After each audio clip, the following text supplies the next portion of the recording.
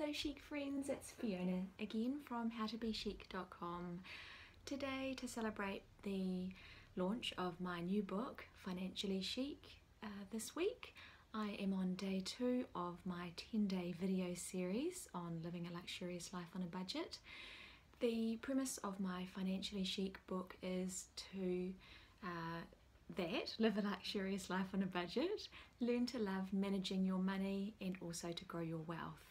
So my tip for day two on living a financially chic life is to, it's one of my, oh, I said yesterday's was my favourite thing, didn't I? But this is also my favourite. It's my top 10 favourites that I'm sharing with you in this series.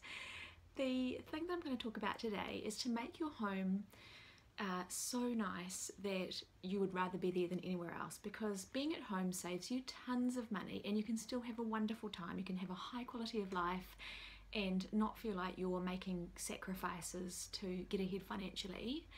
So, in order to aid how you view your home, I thought a fun thing to do would be to make your home like an Airbnb where you're expecting people to come and stay, but it's actually you and your family that are the guests.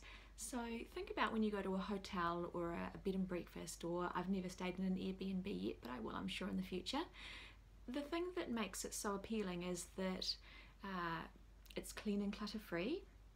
There are little comforts around. Um, everything's quite considered.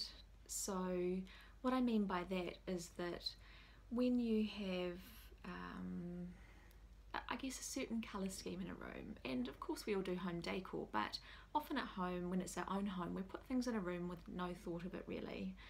And an example that I mention in my book, Financially Chic, an example that I mention is in my office, in my home office, I have a set of plastic drawers that I bought to store some things and then I decluttered so I don't need to have those plastic drawers anymore. But I've still got this set of plastic drawers in my room that's not very tall, it's like waist height and it's four plastic drawers. But have you ever seen an attractive set of plastic drawers? I don't think so.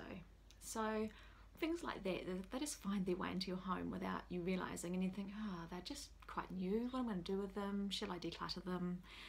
Shall I put them in the laundry or something like that? Not that our laundry is big enough for a set of plastic drawers, but that's just something I'm um, thinking what, how I'll declutter it at the moment.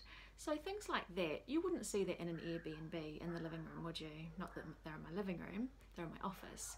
So think about say if it's just your main rooms that you might go to, like your living room and your master bedroom, how can you, um, if you look at them with fresh eyes, how can you make them more Airbnb style or hotel style that it would be really luxurious to spend the night at home watching a movie on the sofa or going into your bedroom and feeling like you're on holiday?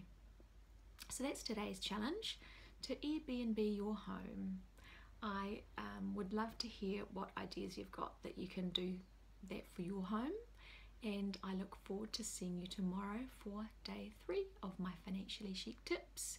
If you would like to take a look at my book, it is on Amazon now. Financially chic, learn to uh, live an expensive life on a budget, love managing your money and growing your wealth financially chic on amazon.com. This is Fiona Ferris and I'm from howtobechic.com. See you tomorrow. Bye.